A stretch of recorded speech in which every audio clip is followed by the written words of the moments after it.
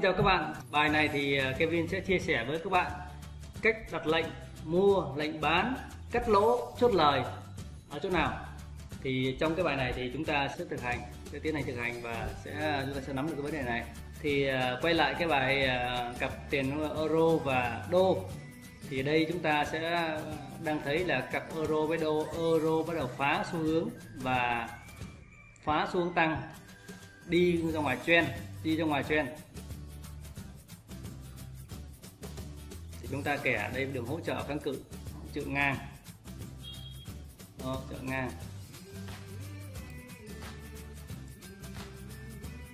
Đó.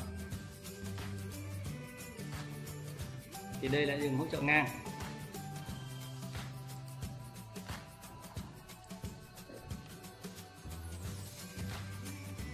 Thì đây thì đây là khi mà giá nó cặp euro đô phá xuống, tăng mà giảm xuống thì chúng ta sẽ có một đường xu hướng mới là về xu hướng giảm. Thì việc đầu tiên chúng ta biết được cái xu hướng giảm ở đây thì chúng ta vẽ được kênh giá. À, vẽ kênh giá. Và để vẽ kênh giá thì chúng ta sẽ chuyển qua cái chân line để qua màu sắc. Cho dễ nhìn. Rồi ta sẽ nhìn. Các bạn muốn màu nào thì các bạn cứ lựa màu đó ha rồi, nếu mà cho ngắn lại thì các các bạn sẽ vào parameter là các bạn tắt cái ray đi, tắt cái ray đi sẽ ngắn. Rồi. Ở đây thì chúng ta phải vẽ được cái đường kênh giá, nó sẽ giảm, nó sẽ giảm về đâu? Thì việc đầu tiên chúng ta phải biết cái, vẽ cái đường hỗ trợ kháng cự ngang. Đây là hỗ trợ kháng cự ngang. Chúng ta sẽ tính toán cái đường kênh giá nó sẽ chạy về đây rồi, tiếp theo. Đây là cái điểm giá sẽ hồi về cái đường kháng cự, đường à, hỗ trợ, xong nó sẽ bật lên.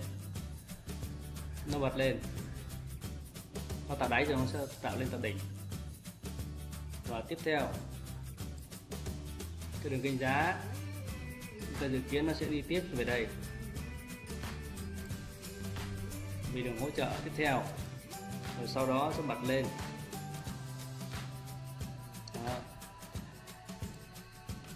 Rồi, tiếp theo đường kênh giá sẽ đi tiếp về đây.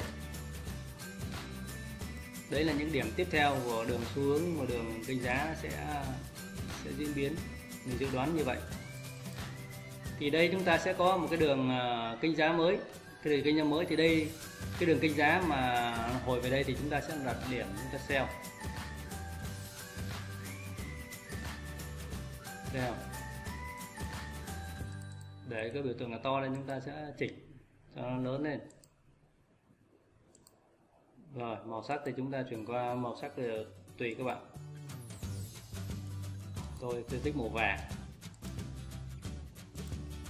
Gold.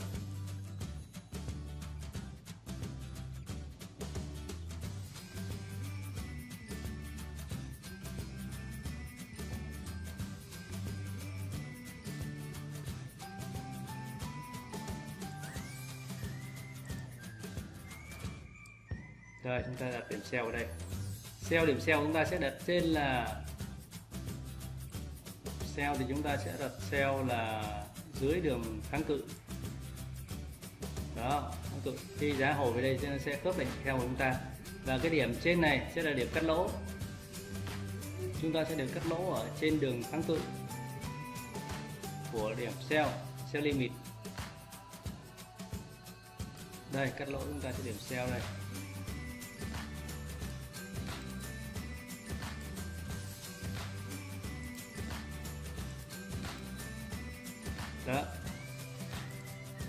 Điểm sell chúng ta sẽ đặt ở trên đường ờ, kháng cự. Đây sẽ là điểm sell và điểm chốt lời. Chốt lời chúng ta sẽ là chốt lời ở ngay cái đường kháng cự, đường hỗ trợ phía dưới. Đường thì tôi sẽ lấy cái biểu tượng ờ, number one này điểm chốt lời. Điểm chốt lời chúng ta sẽ ở đây. Thì điểm chốt lời chúng ta sẽ phải đặt nằm trên cái đường hỗ trợ. Đây thì nếu như tỷ lệ chúng ta sẽ thấy là nếu chúng ta bán ở đây, chúng ta chốt lời đây thì cũng là 1 phần 3 chúng ta sẽ là tỷ lệ 13 là chúng ta thắng là thắng 3 và thua thua 1 đó. Đây là cặp, ví dụ cặp euro với cặp đô. Còn tiếp theo chúng ta sẽ quay về cặp vàng. Đây cặp vàng đây chúng ta đang thấy là xu hướng đang tăng. Đáy sau cao, đáy trước, đỉnh sau cao, đỉnh trước. Vậy thì chúng ta bước tiếp theo chúng ta sẽ vẽ cái đường hỗ trợ ngang, hỗ trợ ngang cho vàng. Một điểm.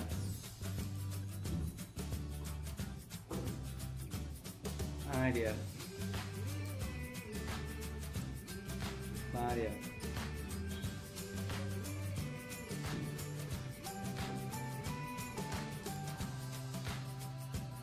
Bốn điểm. Đó thì bây giờ chúng ta thấy xuống vàng tăng đang trong trend. Ờ, à, vàng tăng rất mạnh. Thì ở đây ấy, thì chúng ta sẽ biết cái đường kênh giá của vàng hồi về. Đó, vàng tạo đỉnh rồi bây giờ vàng ở tạo đáy.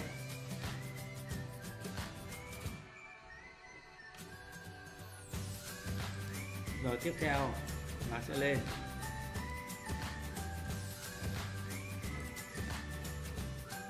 Đây đây là cái điểm vàng vàng nó sẽ đi. Thì ở đây chúng ta sẽ đặt cái điểm à, buy limit.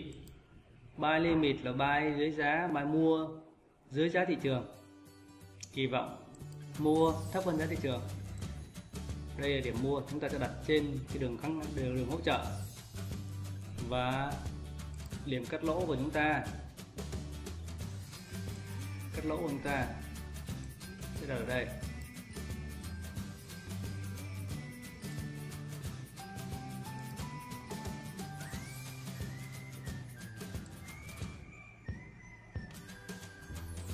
Đây.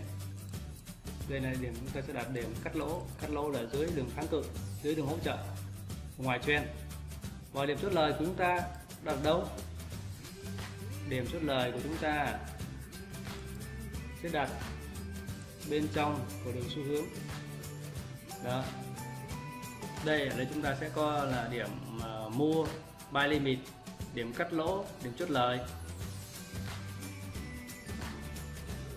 Và tiếp theo chúng ta sẽ làm một cặp thứ ba là cặp đôi nhật.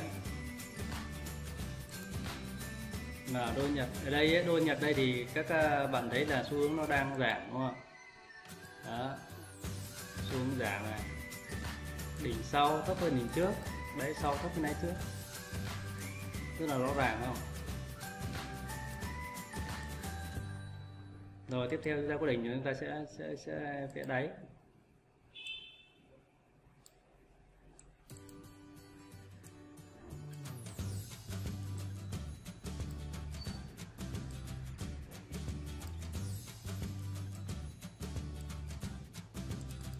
Rồi ở đây chúng ta sẽ thấy là xu hướng của đôi đô với yên nhật nó đang giảm mà xu hướng biên độ hẹp dần. Đấy, thì chúng ta tiếp theo chúng ta sẽ vẽ đường kháng cự ngang. Kháng cự ngang và đường hỗ trợ.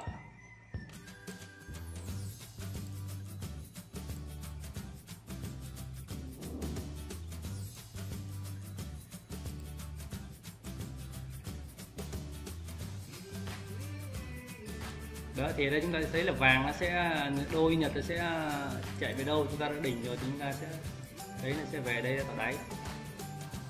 Rồi, tiếp theo. Tiếp theo, đôi nhật sẽ lên trên tạo đỉnh. Rồi. Rồi, tiếp theo. Sẽ xuống thì ở đây khi chúng ta đã biết được kênh giá rồi thì chúng ta sẽ biết điểm sell điểm bán chúng ta sẽ đặt ở đó. Trong dưới cái đường ờ, kháng cự này, điểm cắt lỗ của chúng ta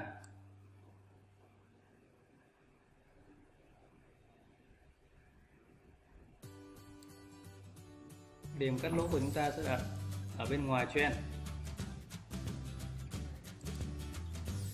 Đây ngoài trend và điểm chốt lời chúng ta. Sẽ đặt ở dưới đây.